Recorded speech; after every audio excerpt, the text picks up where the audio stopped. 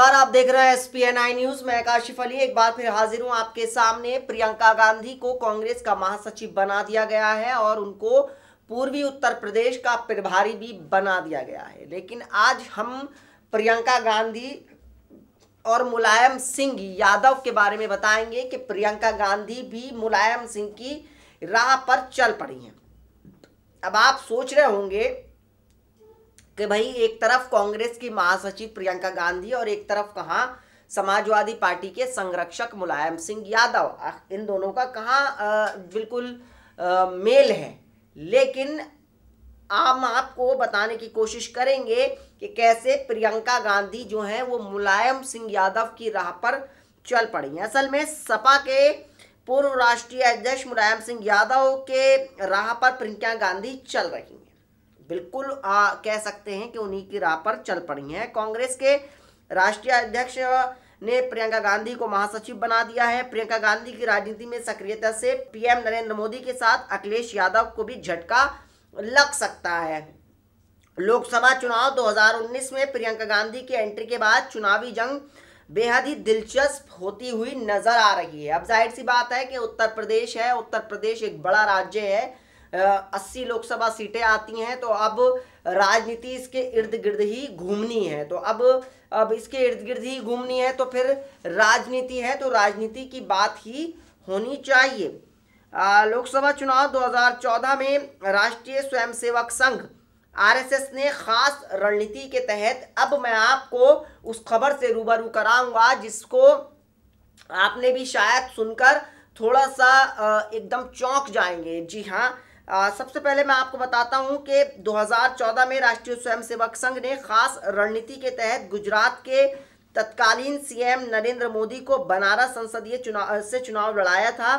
RSS की रणनीति बेहद कारगर साबित हुई थी और पूर्वांचल के साथ ही यूपी की 80 में से तिहत्तर सीटों पर बीजेपी गठबंधन का परचम लहराया था। मुलायम सिंह यादव ने पहले ही आरएसएस की रणनीति को समझ लिया था। इसके लिए पश्चिमी यूपी की सीटों को छोड़कर आजमगढ़ संसदीय सीट से चुनाव लड़ा था।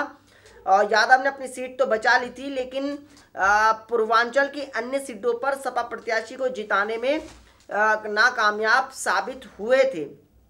यानी बीजेपी एक बार फिर पूर्वांचल कार्ड खेलने की तैयारी में है।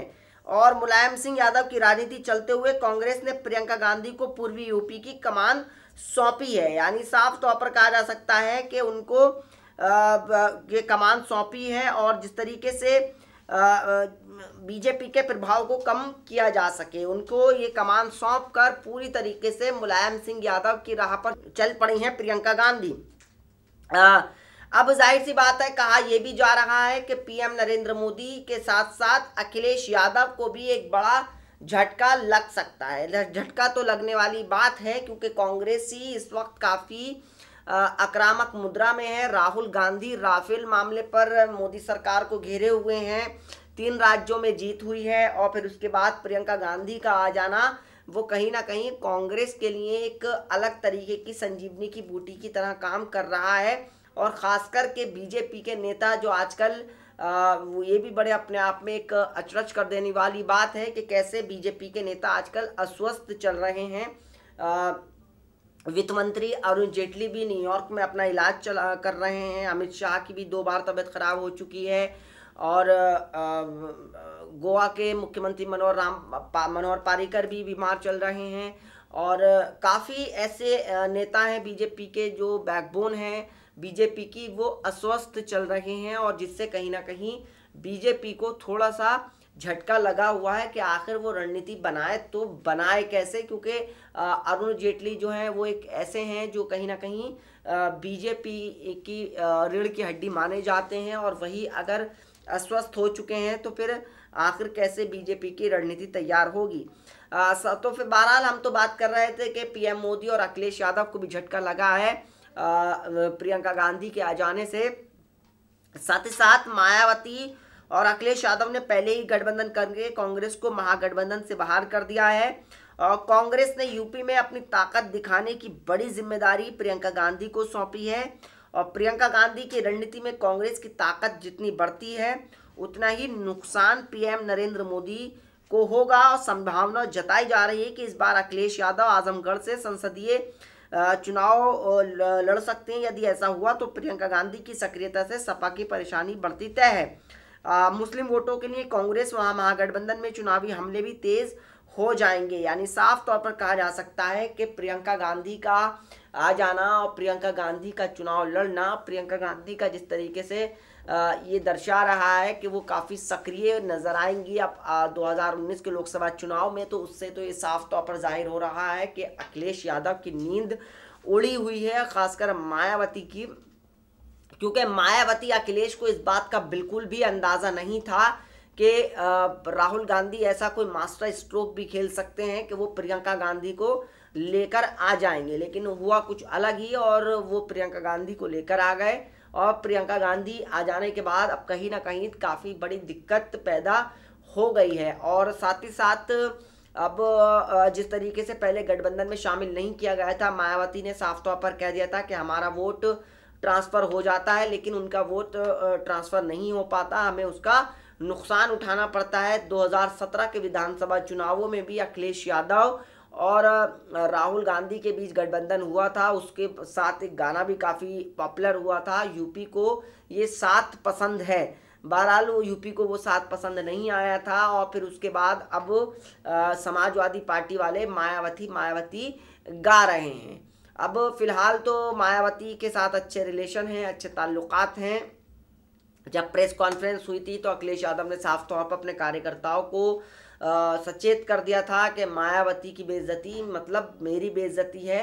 तो यानी साफ़ तौर पर कहा जा सकता है कि इस वक्त जो है वो अखिलेश यादव और मायावती के लिए काफ़ी सिरदर्द हो गया है खास करके पूर्वांचल की सीटें। क्योंकि अगर प्रियंका गांधी अगर आक्रामक तरीके से चुनाव प्रचार प्रसार करती हैं, रैलियाँ करती हैं, धमाकेदार भाषण देती हैं, लोगों के बीच जाती हैं, जैसे वो कहीं भी जाती हैं कि वो एक बेहतर वक्ता भी हैं, बेहतर स्ट्रेटजिस्ट भी हैं और उनको रणनीतिकार माना जाता है और ख़ास करके वो कांग्रेस कार्यकर्ताओं के बीच भैया जी के नाम से काफ़ी फ़ेमस हैं, काफ़ी मशहूर हैं।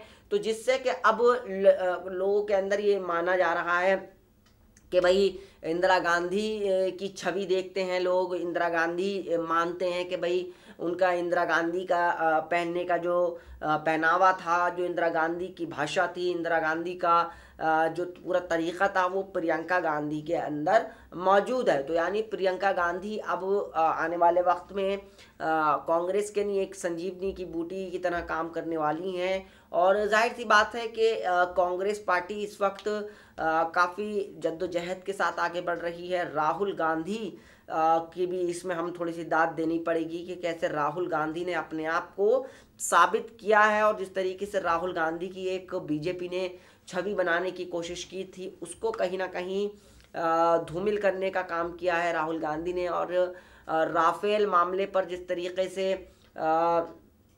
चीज़ें की हैं, राफेल मामले पर मोदी सरकार को घेरा है और फिर उसके बाद इस मास्टर स्ट्रोक खेल रहे हैं और फिर जिस तरीके से उन्होंने तीन राज्यों के मुख्यमंत्री के चयन किया और ये लगातार कहा जाता रहा था कि भाई राजस्थान में काफ़ी विवाद हो सकता है, मध्य प्रदेश में, लेकिन उन्होंने विवाद को बहुत बेहतर तरीके से सामंजस्य से बिठाया। वो बीच में दोनों के बीच में एक अलग तरीके का बहुत अच्छा सामंजस्य बिठाया। तो जिससे कहीं ना कहीं नज़र आ रहा है और ये रणनीति का ही नतीजा है कि आज प्रियंका गांधी महासचिव बना दी गई हैं और साफ़ तौर पर उनको पूर्वी उत्तर प्रदेश का प्रभारी बनाकर आज कई एक तीर से कई निशाने मारे गए हैं और प्रियंका गांधी भी अब पूरी तरह से मुलायम सिंह के नक्शे कदम पर चलेंगी, क्योंकि मुलायम सिंह भी दूरअंदेशी नेता थे।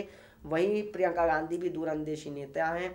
वो भी जानती हैं कि कैसे प्रिया पीएम मोदी की जो स्ट्रेटजी है, उसको कैसे कमज़ोर किया जाए, कैसे उनके सिले में किले में सेंध लगाई जाए, ये बात प्रियंका गांधी भी जानती हैं और बहरहाल अब चुनाव 2019 का काफ़ी दिलचस्प होता जा रहा है और आने वाला वक्त काफ़ी दिलचस्प होगा। जैसे जैसे उम्मीदवारों के नाम सामने आएँगे और पूरी लिस्ट आएगी सामने तो और चुनाव दिलचस्प होता जाएगा। तो फ़िलहाल आज के इस प्रोग्राम में इतना ही। फिर हाजिर होंगे नए प्रोग्राम के साथ। तब तक जुड़े रहिए और देखते रहिए न्यूज़ नमस्कार। Música